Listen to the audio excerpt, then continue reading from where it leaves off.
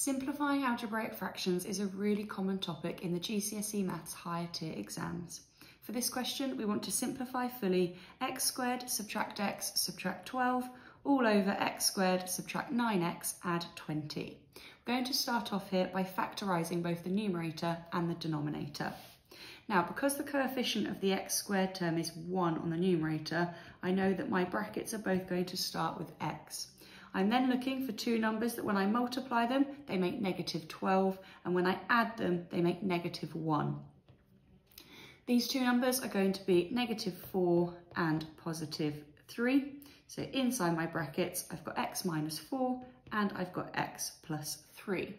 Now on the denominator of this fraction, again, the coefficient of the x squared term is 1, and so my brackets are going to start with x and x. I am then looking for two numbers that multiply together to make positive 20 and add to make negative 9.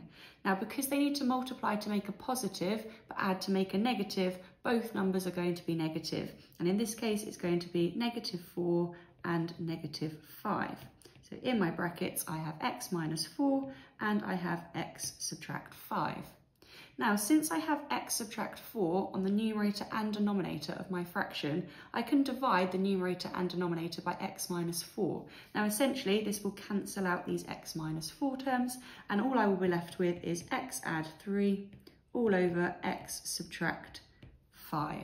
And that is now fully simplified.